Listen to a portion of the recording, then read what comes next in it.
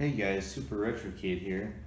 I want to do a quick video of demonstrating measuring the lag on my uh, Sony 20M4U PVM. Uh, what I have here is uh, the Time Sleuth, which is a uh, lag tester uh, created by Citrus 3000 PSI. And I have a HDMI to component uh, converter that he'd recommended on his site. Uh, for those of you who aren't familiar, uh, what the slime, what the time sleuth does is it has a knob here that'll switch between uh, 240p, 480i, and 480p, and it will output that signal to a monitor. Then on the back side of it, it has a photodiode that will detect uh, the signal uh, blinking on the screen and it'll tell you how much latency there is between uh, when this device sending the signal and when this device detects the signal.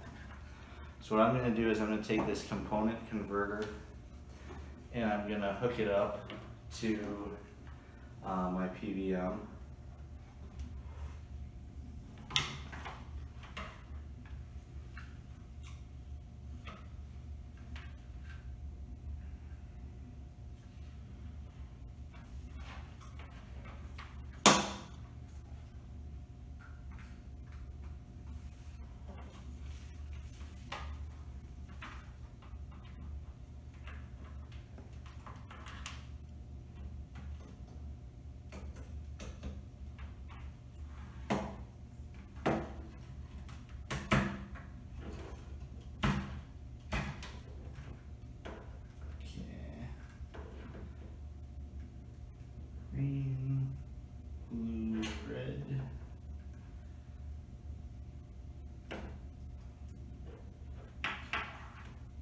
So this is what the interface looks like of the Time Sleuth.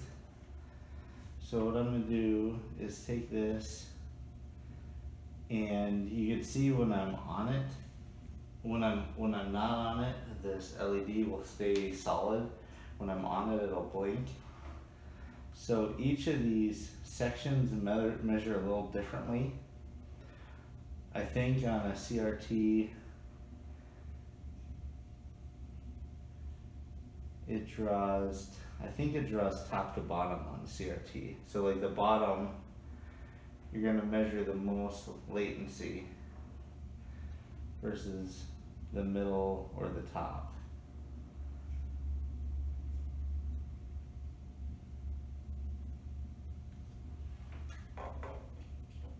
So you measure like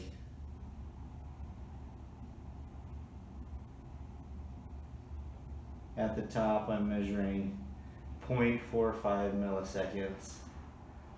At the middle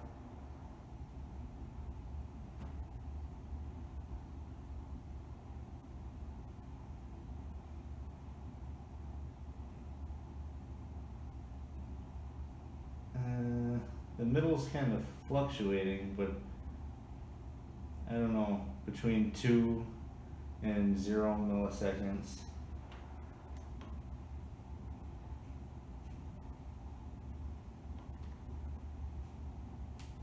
And then the bottom, I'm measuring like 14.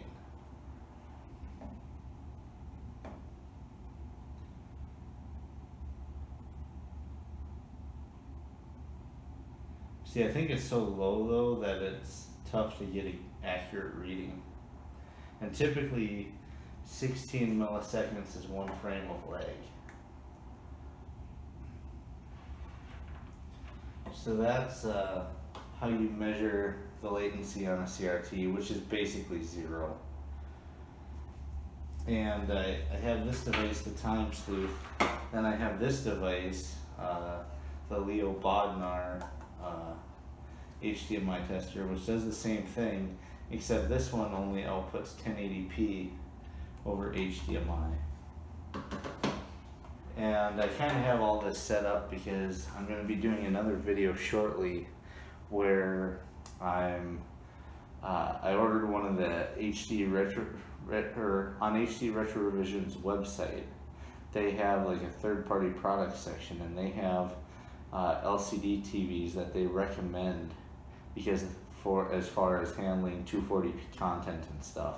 And I ordered one of those monitors, so I kind of have all this set up because I'm going to measure uh, the, the latency over component when I get that monitor and see if that monitor is low enough latency to where you could have like the this 8x2 G-Comp switch with a bunch of HD Retrovision cables and whether you could use the LCD without a scaler.